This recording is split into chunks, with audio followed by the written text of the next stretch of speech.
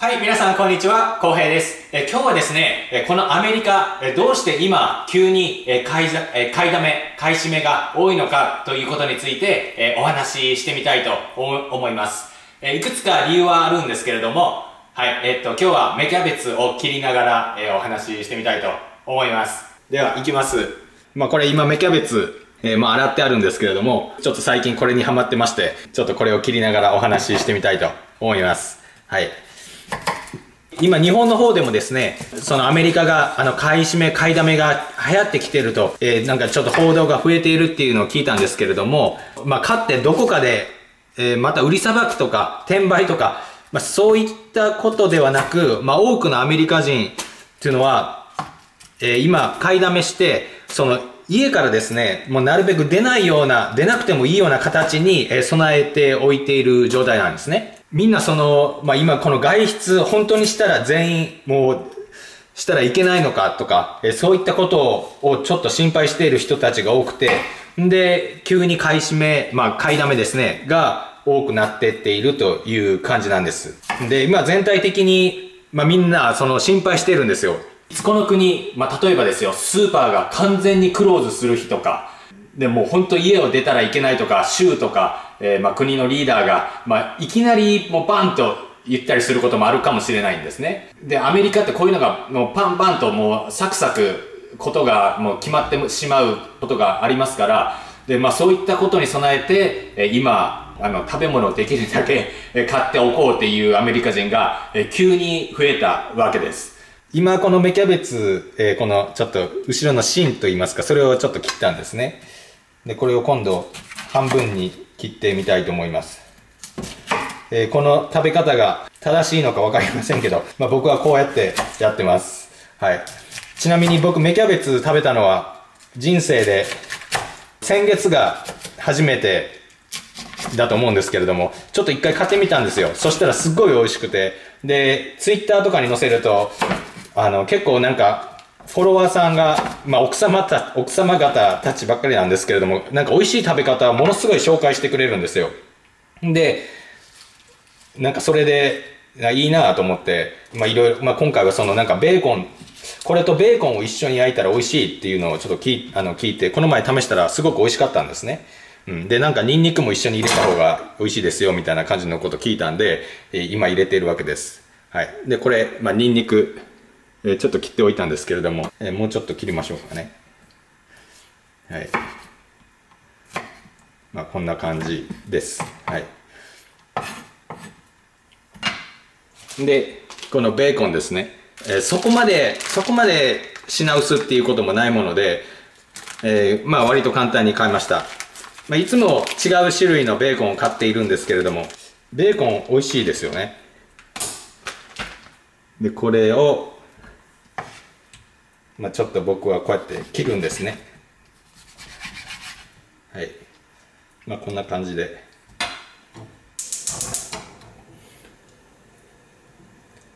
で、ベーコンを僕あんまり最初に油を入れずにそのまま焼いちゃうんですよ。あの、油、オイルがなんかめっちゃ出てくるんで、いらいらないかなと思っているわけです。はい。まあこんな感じです。それでですね、まあアメリカ人とかもものすごいちょっと心配しているわけですね、こちらの。で、こちらの家っていうのはその日本と比べて、まあその種類にもよりますけれども、まあ大きい家っていうのが多いわけです。で、その物もまあかなり買い込めるわけなんですよ。あの部屋が余っていれば。で、寝室の数とかも多かったりするんですけれども、で、使ってない寝室とかにもバーッと食べ物を、あの、食べ物場みたいな感じで置いている家とかもあって、僕の友達とかでもいるんですけれども、うん、あの、もう後編も、あの、ちょっとできるだけ冷凍のものとか、冷凍できるものとか買っといた方がいいぞとか言われて、まあそこまで必要かなとも思うんですけれども、まあ多少は買ってありますけれども、もう、もう買える分だけ買うっていうような人たちもいて、で、中にはなんか最近中、友達で中古の、なんか業務用の冷凍庫とか、あの、買った友達とかもいて、で、空いてる部屋とかに入れたりとか、えー例えば車庫とかですね、倉庫になんか置いたりして、まあ、まあ元から買おうと思ってたのか分かりませんけれども、これを機に買ったっていう友達とかもいて、まあかなり買い込んでいるという、えー状況なんですね。で、物が今ちょっとそのスーパーから、えどんどんどんどん消えていっているという感じです。で、それも、まあ、場所にもよるよりますし、まあ、州にもよると思うんですけれども、僕の地、住んでる地域ではかなり、まあ、なくなっていってます。ベーコンを焼いてみたいと思います。はい。で、ベーコン。まあ、僕は、まあ、自分、まあ、インターネットとかでレシピとか一応目軽く流すんですけれども、最終的にはその自分の、まあ、好きな味って言いますか、作り方で調整していくんですね、うん。まあ、いつも、ね、そのレシピ通りにやってもうまくいかない時とかもあってちょっとわ難しい時もあるんで、まあ、自分で何回もやって自分の好きな味作り方に挑戦あの調整していくわけです。はい。まあこんな感じです。とカメラを動かしてみましょうかね。はい。愛犬はお菓子食べてたんですけれどもえー、今ちょっとお菓子食べ終わったら出ていきましたね。はい。見えますかね？はい、こんな感じです。で、芽キャベツを入れると。まあ、このタイミングでこれも入れたらいいのか分かりませんけども、まあ、入れときます。はい。皆さんは料理してますか？まあ、僕はこういう事態になる前からなるべく家で、まあ、ご飯を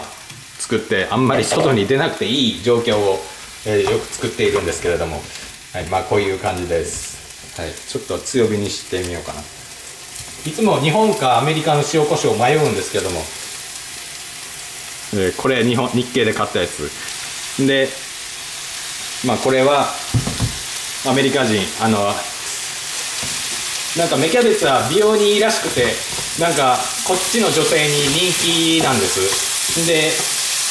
なんかビタミンが多く入っているみたいで普通のキャベツより。あこれ切ってない。んで美白とか美肌にいいみたいで女性に人気があります。なんか普通のキャベツを食べるよりも栄養があるらしいんですよ。うん。で割と好まれていますね。これは99センツで買おうと思ったんですけれども99センツストアっていう100円ショップみたいなところで買おうと思ったんですけども今えー、そういったお店売り切れが多いものですからこれは普通のアメリカ系のスーパーで買いました。99セントストアっていうその100円ショップみたいなところ、まあ、ちなみに今こういう感じで売り切れのものがやっぱ安いからもう、えー、サクサク売れちゃうんですね。まあ、あとその後またアメリカのスーパーマーケットとかも行ったんですけれども、まあ、棚がよくこういう状態なのが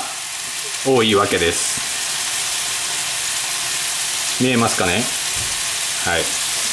まあこんな感じですね。出来上がってきました。ちょっと食べてみたいと思います。ちょっと小さいの食べてみようかな。